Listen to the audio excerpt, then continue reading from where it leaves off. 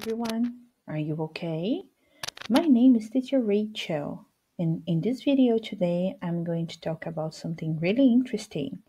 Do you know that there are some differences about some words that people say in the USA and in England?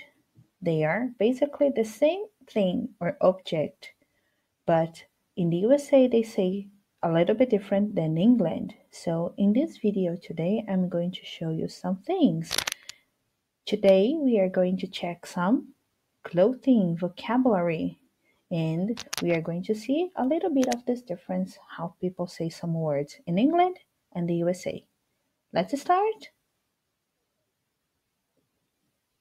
So, let's start with this one.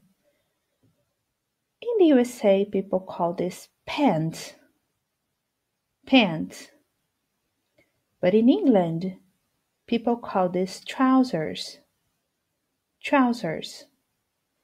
So pants in the USA and trousers in England. This one here, let's check. In the USA, people say vest. Vest. But in England, people say waistcoat. Waistcoat. Vest in the USA, waistcoat in England. This one here. In the USA, people call this sneakers. And yes, it's really similar to that chocolate, right? So sneakers but in England, people say trainers. Trainers. Snickers, just like the chocolate in the USA. Trainers in England. Here we have sweater. This is how people call this in the USA. A sweater. In England, some people say jumper, jumper. In the USA, people say sweater. And in England, people say jumper. Here we have a swimming suit. This is how people say this in the USA swimming suit.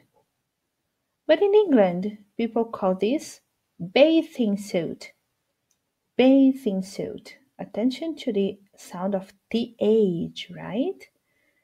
Swimming suit in the USA, bathing suit in England.